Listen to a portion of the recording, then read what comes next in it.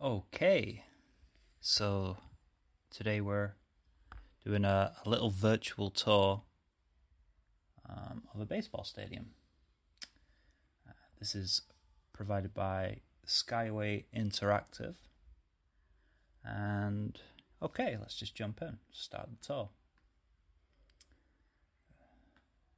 This is PK Park, which is home of the Eugene Emeralds and the Oregon Ducks. Beautiful valley location. A nice pond. Let's click that out. Let's get a bit of a bigger view. Some lovely, lovely greenery here. It's like a beautiful, beautiful area. A beautiful, warm, maybe July's day. Look, that uh, water, I believe, uh, is a tributary for the uh, Willamette River, just south along here. And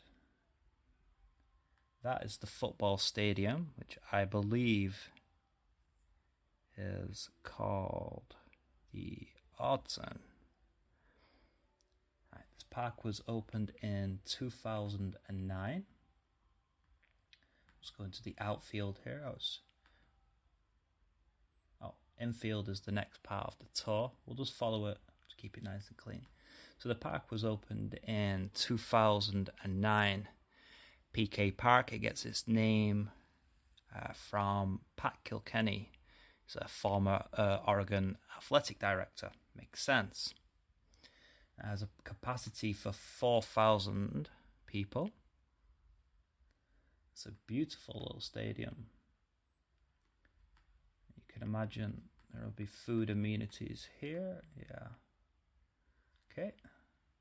So we're in the infield now. Let's have a quick look at the outfield.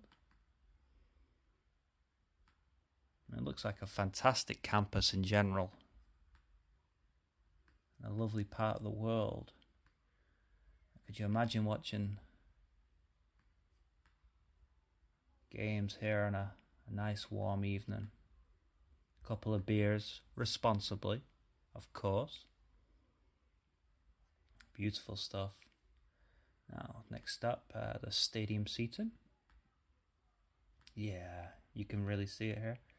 Oh, here's one of the uh, confectionery car. Is that Carl's Juniors? That says they sell burgers. So I'm sure you can probably get a beer or two there. Have a nice burger, watch a good ball game. That sounds like heaven right now, especially as this winter perpetuates where I am. Wow. Okay. And we go into the indoor part of the stadium, the locker room. Fantastic almost movie location quality. And the repetitiveness of the stools up uh, with the team logo and the, the green and yellow. It's uh, dreamlike. You got some music on here. Let's have a, see if we can see if there's any clues to what they're listening to. No, nothing there. Okay, and the team room. This is where they see the board here kind of implies this is where you'd they'd be uh, going over plays and team talks and on roster selection, all that good stuff. Uh, we kitchen area. presume these are names of either sponsors or famous players or athletes attached to the the university. Fantastic facility.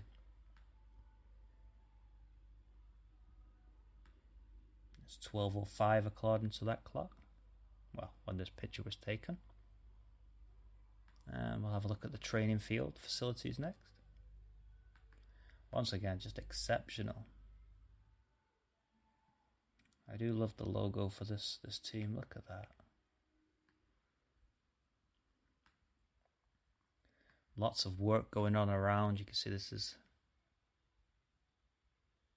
a progressive part of this university's history. All things are going forward for them.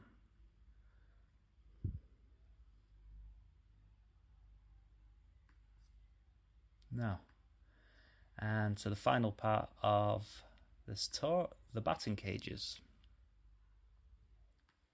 Exactly as it says on the tin. I presume with these being indoors, makes sense, uh, especially with the climate of, from what I understand, about this part of the world. Quite wet. Once again, just fantastic facilities. Be very happy if you were an athlete here, obviously. Okay, so that concludes the tour. We'll just come back out to the aerial view. So, what to learn? I'm not sure there's a, there's a whole lot to learn. It's more of a nostalgic trip thinking about the days of uh, watching sports in stadiums. It's been a at least a year, well, a year and a half for me. COVID kind of hit around the March period. It was the previous summer before any sports outdoors, so it's nearly two years. And you get fond memories of summer and whatever your sport was, wherever you were growing up, whether it was soccer, which was predominantly my sport growing up, baseball, football. You can attach. You can almost smell the warm grass, those long days the pleasantness of then as coupled with an adult watching these games. Yeah, it's fantastic stuff. Uh, I think that is another confectionery bus there. They probably sell some nice tacos and stuff. Yeah, there's there's an area here you can see that probably serves food and such. That's awesome. Okay, we'll conclude the video here. As always, be a good sport, be a sportsman.